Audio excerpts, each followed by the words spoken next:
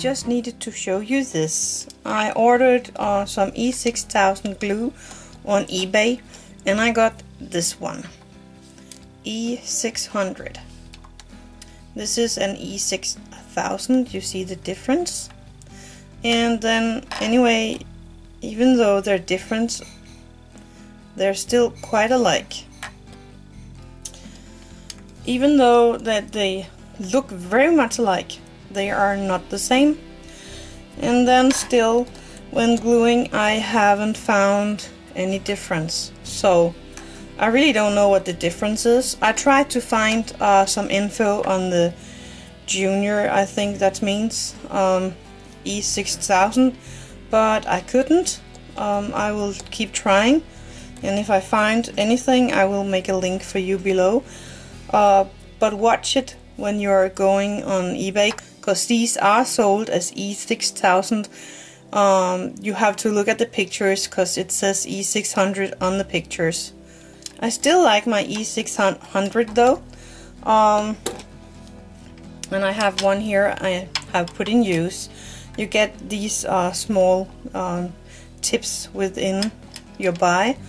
But if you put the normal lid on it uh, I have one somewhere that's here. Here it is. Uh, they look like this and then you put it on instead of the normal lid. And this lid is not enough to stop this lid from um, um, drying out. So it's really really hard now for me to get any glue out of this one because it's all glued together. So that's why I took a needle a big needle that fits into the hole and I made a tiny uh, bit of polymer clay around the top of the needle so it's easier to get in and out. Uh, so when I have used it I put this one back in there.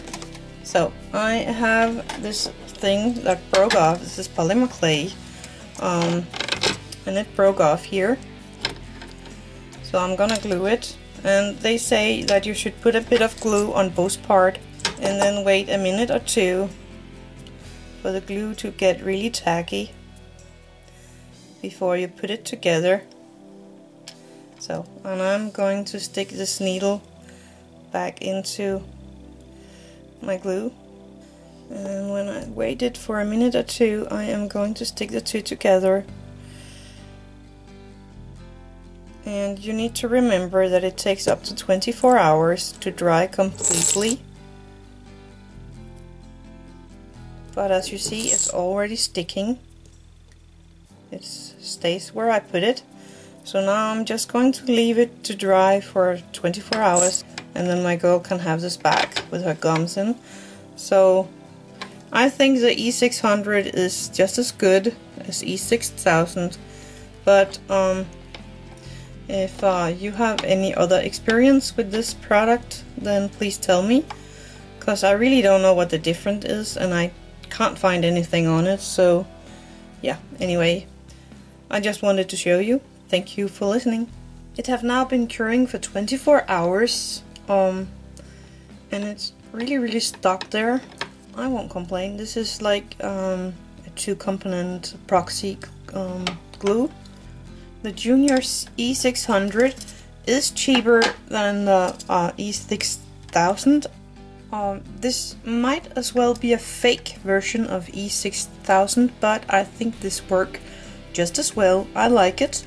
Um, but anyway, if you're looking for E6000 on eBay, be careful because these are sold as E6000 as well. So if you don't want this one, uh, you really need to have to look around um, before you get yours. Um, yeah, anyway, that was everything I had to say. So happy crafting.